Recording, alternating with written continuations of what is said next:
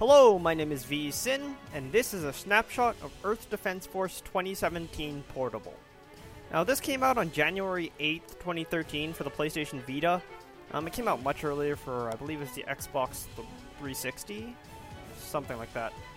Anyways, this is a port of a console game. And what is it exactly? In short, shoot bugs. Lots and lots of bugs, and occasionally robots, and bigger robots, and a giant beast, and I don't know. You shoot stuff, lots of stuff. That that's really the synopsis. Now, you know what? It's better off. I'm not gonna go through menus and stuff like that too much. First of all, let's just go to equipment. Um, when you first start the game, what you have is Storm. Storm is basically the basic trooper. Uh, when you start the game, you won't actually see this screen, this top option on the screen. It won't be there until after you complete the game. Um, once you complete all the missions uh, on any difficulty, then you un unlock Pale Wing. And Pale Wing's a different thing. I'll show you that in a bit. All, we'll start with Storm. Now, one of the things that a lot of people like to tout about Earth Defense Force 2017 and Earth Defense Force in general is that it has a lot of weapons. And you just go through this list at a, at a snapshot. It seems, oh, there's tons of weapons. No, not really. Right, assault rifle. Um, let's see here. Assault rifle. Burst.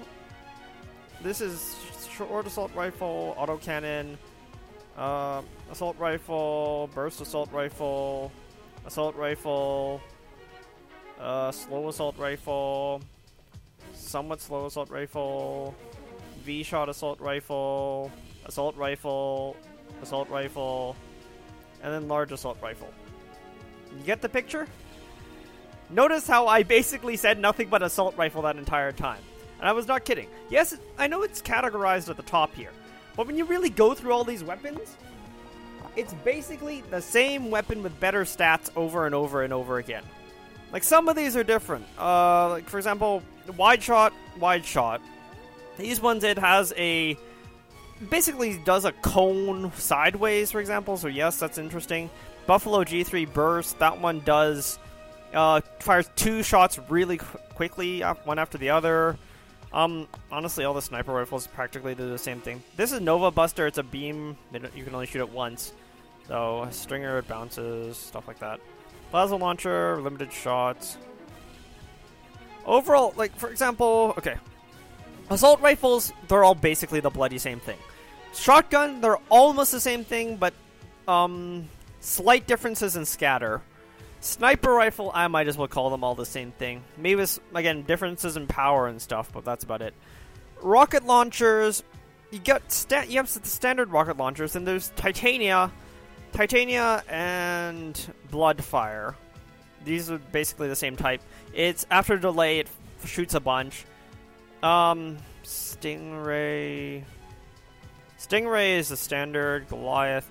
Goliath is just a really big one. Plasma, I noted, noted that earlier. That one is limited shots. Cascade is an interesting rocket launcher, I will say that. Uh, I might decide to use that.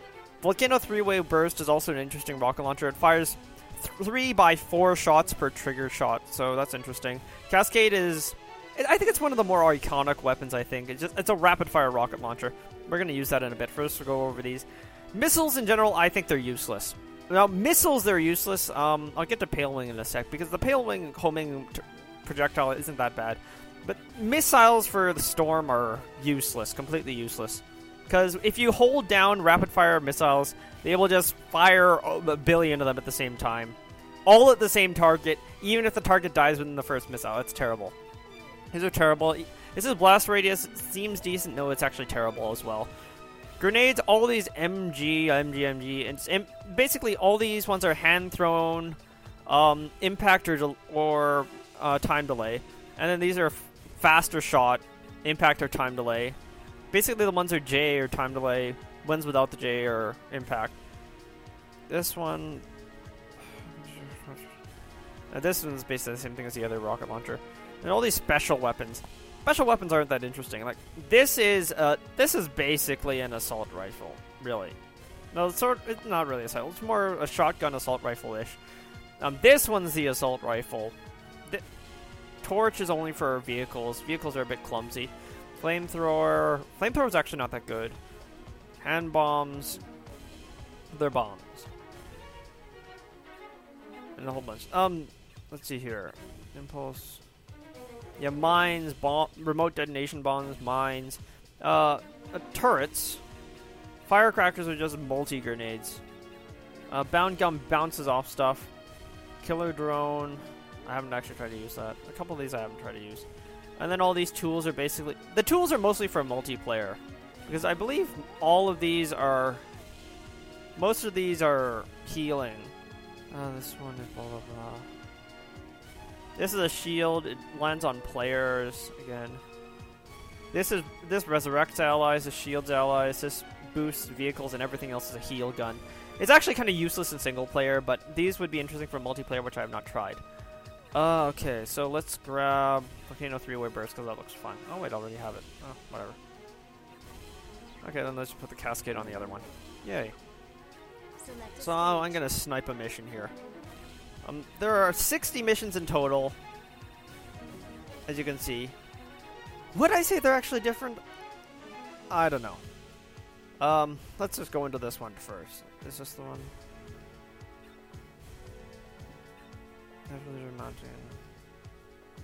I believe it's this one.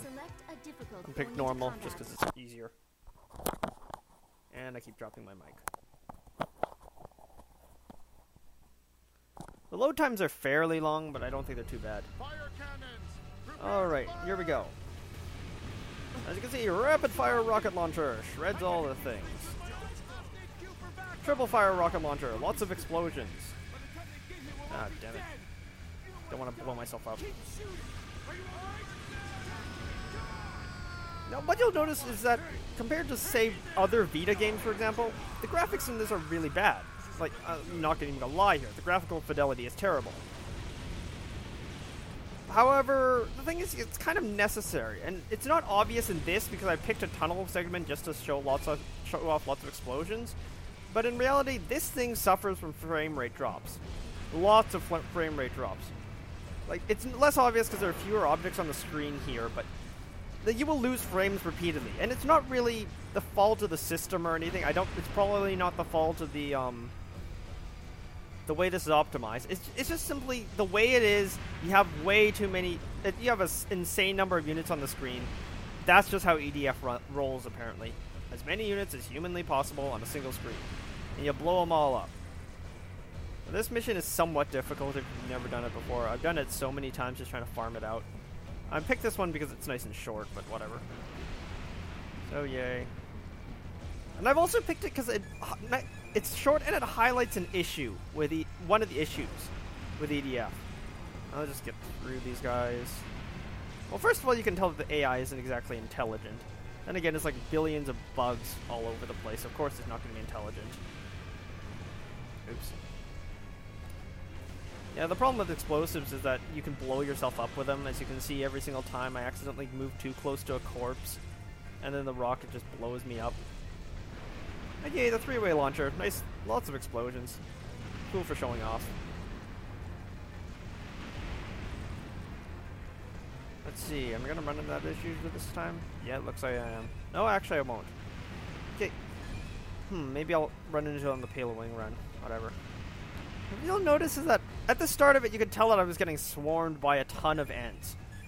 But as I go through, you can tell I'm just standing here. Just standing here. You can see, if you can see the dot on the radar in the top right corner, you can see that they aren't getting any closer. Like, uh, they should come out from that hole over there. I'm just standing here. They're not showing up. And I have to go off and hunt them down. Or is it that hole? Ah, fuck. Second issue, yeah, this is why they get they get stuck. You can tell how the, it throws them on the radar as the same elevation, but I can't actually see them. Where the hell are they? Oh, okay, I did run in the issue after all. As you can tell, when it gets to the last couple bugs on monsters on every mission, especially if they only use the small monsters, it can become a pain in the ass just chase all these guys down. You have to look run around. It's particularly bad with Storm. Not, it's not too bad with Pale Wing, because Pale Wing's just really fast. But on Storm, you have to march your way through, and hey, there's finally this one guy who dies in one shot, but he got stuck. It's it's particularly acute in tunnels, but otherwise, yeah. It, it's annoying.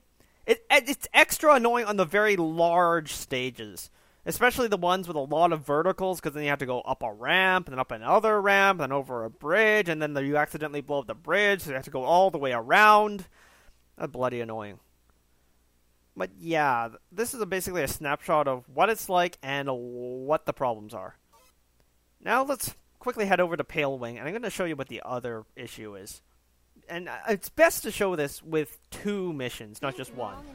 So let's switch it to Pale Wing. Uh, plasma launcher. Rapier Thrust? Yeah.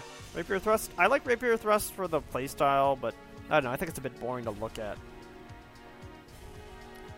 Uh, actually, no. We'll use Rapier. No, we'll use Rapier. It looks flashier. Okay. Where are we here? There we go, multiplication. Normal. Alright, this one is the Pale Wing. Pale Wing is the is a special feature in EDF 2017 Portable. Because Pale Wing is actually from EDF 2, I believe, and subsequent ones as well. This didn't show up in the original EDF 2017, and you get to fool around with it in all the same missions. Um, Pale Wing is slightly awkward in tunnels, which is why I'm not showing it in a tunnel, but it's really fun out in the open. However, once this loads, you'll quickly see what the issue is. So yay! Jetpack. The, the, there's a bar on the right side. That's the energy bar. You notice how I just ran out of energy? Exactly. As much as the Pale Wing is supposed- Ah, oh, crap, and I am out of energy now. And now you get to deal with a nice annoying, hey, you're out of energy sound. But yeah, you notice that I ran out of energy absurdly quickly there. And that's I guess it's a playstyle option with the Pale Wing, where she just she can has this boost jetpack that lets her fly around really fast, but she runs out of energy almost instantly. But it it's really irritating because the because the recharge time is extremely slow. Also, you notice I'm just picking up all this stuff on the ground. Uh, my Pale Wing file isn't quite as far along as my Storm file. I don't know. I mean, I guess in terms of difficulty, the recharge makes it really good because then it's a it just it's a balancing act of how often you fire your weapons, how often you boost and stuff. But I don't know. In terms of playstyle, it just it's just really frustrating. Like, I don't know. It's really frustrating. Also, it's I guess it's I, I, it might be useful to note that the your ability to recharge your boost does not improve with easier difficulties. It's just kind of there. And it's really annoying, because it's just... Uh, look, I'm just... I want to be flying around with a booster, but I'm running around waiting for this damn thing to recharge. And you spend... I end up spending most of my time at the bottom 25% of the booster. I don't know. And if you end up spending all your time at the bottom 25%, then you end up having to deal with a I don't know, maybe you can hear it in the background, but it's that, hey, hey you're at the last 25% of your energy sound. It's just, it's slightly irritating. And the Pale Wing playstyle is fun. I just wish that there was like some way to, to just hacks or something. I don't know. Goes up. Now I, even though I technically can fire again, so, uh, I've run out of energy for that. Now I have to go up close, use the rapier.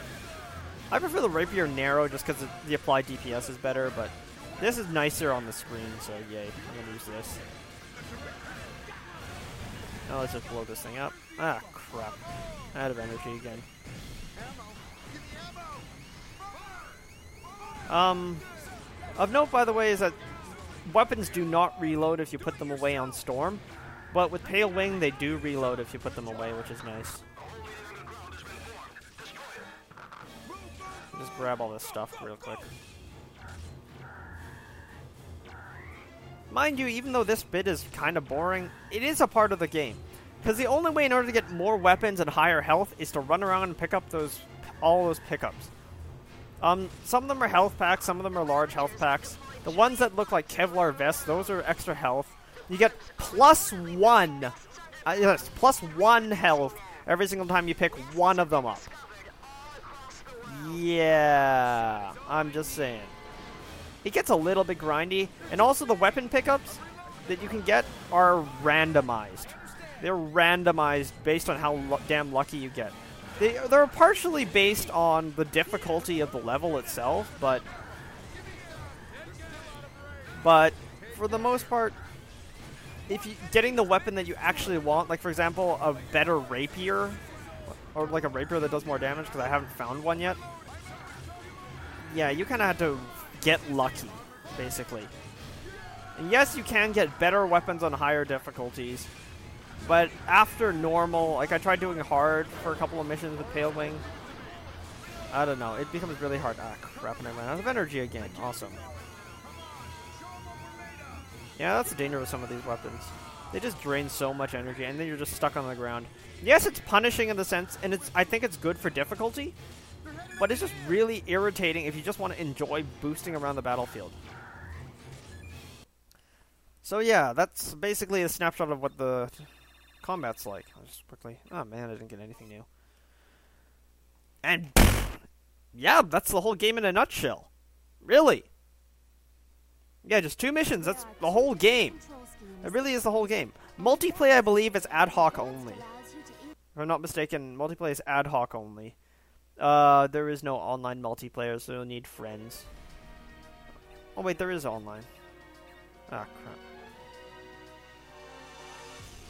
Well, let's explore this together then.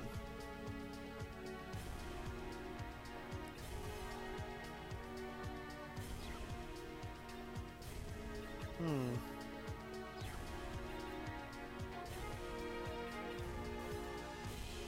Interesting. So...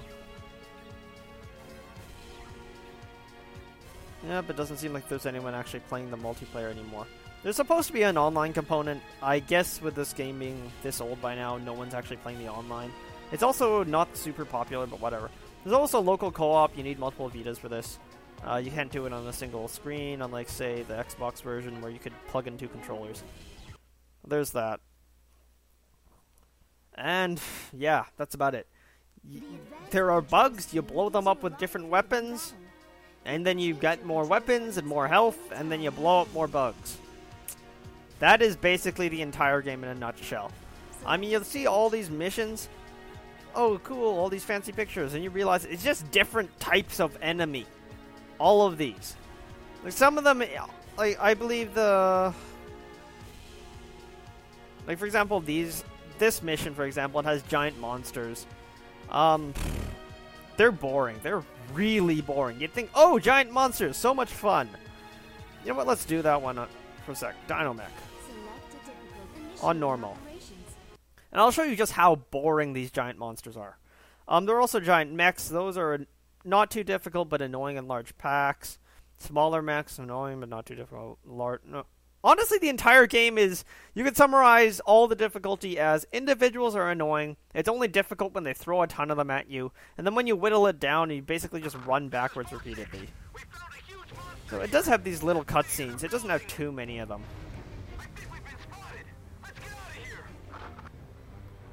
Okay, giant. I don't know, kaiju. Giant monster with armor. Looks cool, right? And hey, it has a flamethrower too. So cool, right? No, once I get into this fight, I'll show you how lame it is. Like, these things are pretty damn lame. In fact, most of the things basically revolve around firing in intervals and moving. And then firing in intervals and then moving. I think the only interesting uh, opponents the only interesting opponent, in my opinion, is the final boss.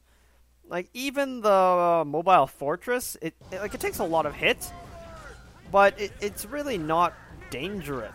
It, I mean, it's it's the only thing that has different phases and stuff. Charge towards it, like hey, it's raising its arms. Yeah, it does that move. Whoop de doo. So I just spent this entire time running towards it. Yay! Blows fire. And now it's running really fast, so I have to fire off a faster, longer range weapon. And now I'm out of energy again. Now to wait for it. Ah, oh, God damn, I hate this part. Yeah, this part's annoying because then you have to wait for the damn thing. Oh no! That's and that's firing flames around again. Yep, out of energy. Highly annoying out of energy sound. Behold, the highly vi highly visceral rapier. Yeah, it like unlike other enemies, this guy doesn't even twitch when you hit him. I suppose it's nice to emphasize how tough it is, but it's just it's just unsatisfying when you fire weapons. Oh, well, well, he just kind of twitch when you hit him in the head. I guess, but like if you hit him in the leg for, I don't know, maybe it's just the explosives or maybe it's just this one animation. Oh look, the gigantic monster! Oh no, the gigantic monster, whatever shall I do about it? Look, I just spent all that time shooting it. I'm shooting it in the leg, and now I'm out of energy, and now I'm waiting for it.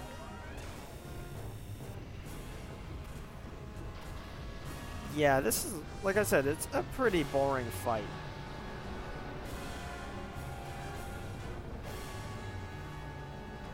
Wait for him to stop moving so I can hit him with something. Oh, there we go. He's down. Highly exciting!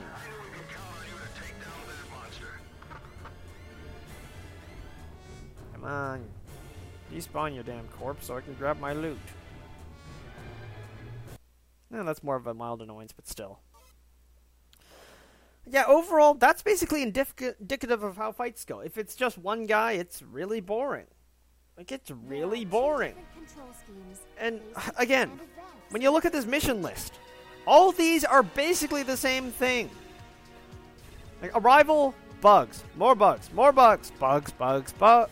Oh, sorry, this is this is airborne targets. Then more bugs, then more bugs, then large targets, then more large targets, then bugs, then more bugs, then bugs. This one, I believe, is airborne targets. This is large targets, bugs, bugs. One single large target, that's the one we just did. Bugs, large targets, bugs. Like, it's like, oh, it has 60 missions with four difficulties. Yeah, but they're basically the same damn mission with different, mildly different mechanics. Like, this last mission is the only interesting one, in my opinion. Everything else is just bugs, bugs, bugs. Zerg of bugs. And quite frankly, 60 missions is a lie. It's a it's a straight-faced lie. In reality, this only has about five different missions tops. Like, in effect, it's only five different missions. Maybe 10 if you double it for being underground, but that's about it. Like, the missions themselves aren't that interesting. Um, th again, the weapons themselves aren't that interesting. Admittedly, the Pale Wing selection is better than the Storm selection because it's mildly different, but even then, you go to these range weapons, like, it basically goes down, boils down to plasma launchers and plasma grenades. Really. And this is what this entire section boils down to. And then, like, bigger explosion with more damage, smaller explosion with less damage, slightly lower energy cost, and this is a grenade where you have to toss it. like the, you can tell, for example, that these two, the Proto Thunder Sniper and the Thunder Sniper, are basically the same weapon. LRSLs, all basically the same weapon with different stats. like it, like it, when it look, you see it on the box, it says so many missions, so many weapons, so many enemies. Great, right? It's a slight ruse. It's really just more enemies that are maybe more difficult, and then more weapons that are just upgrades to your existing ones. Now, would I recommend this game? That's the really tricky part. Because I'm not sure if I actually can recommend this game completely, yet at the same time, I cannot deny that I had a lot of fun with it.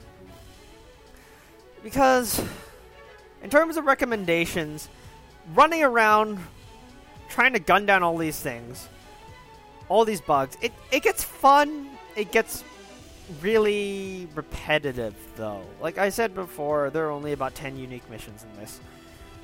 Um, I don't know. At the end of the day, if you like this aesthetic, then okay, go for it. Um, at this point, I believe the price tag is still 35 bucks. I could be wrong. Um, they might have done a price cut by now. I'll have to double check that. I'll I'll post it in the description if I got the price wrong, but for the price, I would say it's a gamble for you because the the amount of enjoyment you'll get out of this is dependent on whether or not you really like this sort of thing. Like if you like like you're basically a one man army taking on an army. And I, I get that that's really good, but it's just that you really will be using similar weapons. After about mission 10, once you get all the different variety of weapons, you will basically be using the same weapons for the entire game with better stats. Well, that's basically how it rolls. Missions are the same thing with tougher, marginally different bugs. For example, uh, like maybe the way they move or the or the damage they deal and stuff. I don't know. Would I recommend this game? I'm gonna say worth playing if you if you like this video, then I think it's worth playing for you. At the very least, I believe it's worth playing. If you didn't like this video, I don't think anything is to convince you that this is a good game. Um, if you're someone who's really what's the right word? Stuck up about their graphics. Don't t- don't even get anywhere near this. The graphics are really, really, really weak. Um, and I didn't show it in this video, but on on the more cluttered levels, there you will get frame drops repeatedly. And then if you fire explosive close to you, you'll get even more frame drops. Word of warning. Um. Other than that, I don't know. TLDR, it's a risk it's it's dumb fun, but it is fun. So if you, so I, at the end of the day, this is a risk. If you're willing to take the risk, if you have disposable income, go for it. I had fun with this, but I find it hard to recommend just because it's a little bit binary. My name is V Sin. Thanks for watching.